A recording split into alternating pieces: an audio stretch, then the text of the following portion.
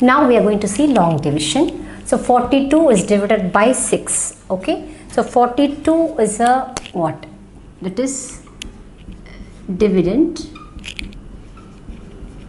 and 6 is a what? Divisor. Divisor. So 42 is divided by 6. So you must use a sixth table up to 42. So 6 ones are 6, 6 twos are what? 12 and 6 3s are 18, 6 4s are 24 and 6 5s are 30, 6 6 are 36, 6 7s are 42. So what is the number? 6 into, sorry, 6 into 7 you can get what? 42. So what is the number? 7. So 7 is a quotient. 6 7s are 42. So you must use 42. 42. You must write 42 here. So again I'll repeat. You, 42 is going to divide by 6. 42 is a dividend and 6 is a divisor. So so 42 is a dividend. So dividend is in blue color and divisor in red color. So 6 table you must use. So 6 table you must use. 6 sevens are 42. So 7 is a quotient. You must write it on the top. So 42 minus 6 sevens are 42. You have to write 42 again. 42 minus 42 you can get 0. So what is the answer? This is the exact quotient. This is the quotient. Okay. Q-U-O-T-I-E-N-T quotient and 0 is a what? reminder. 0 is what? reminder. So this is the long division method. So now we are going to see the second sum that is 24 is divided by 4. So 24 is a dividend D-I-V-I-D-E-N-D dividend and 4 is a what? 4 is a divisor. Okay, 4 is a divisor. Divisor. So 24 is going to divide by 4. So 24 is a dividend. So I used blue color and divisor is 4. I used red color. So for the differentiate only I want to differentiate the terms that is what I use different colors. So 24 is going to divide by 4. You must use the fourth table up to 24.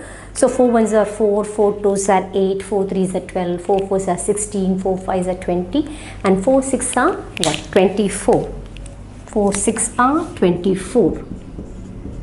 4 6 are 24 so you must write what 6 so 4 6 are 24 4 6 are 24 so you must write 24 again so 24 minus 24 you can get 0 so 6 is a what? Quotient. You must write it on the top.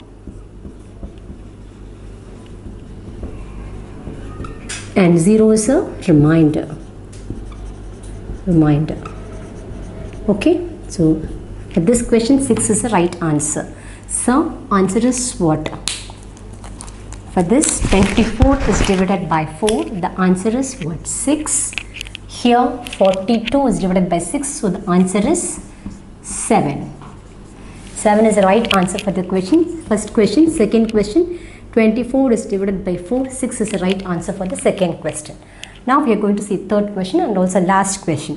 18 is divided by 2 18 is divided by 2 so 18 is the dividend and 2 is a divisor. So you must write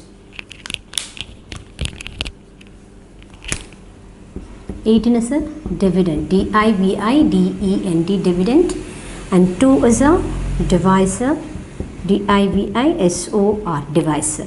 So 18 is going to divide by 2. You must use 2 table. So up to 18. So 2 ones are 2, 2 twos are 4 and 2 threes are 6, 2 fours are 8, 2 fives are 10, 2 six are 12, 2 sevens are 14, 2 eights are 16, 2 nines are what 18.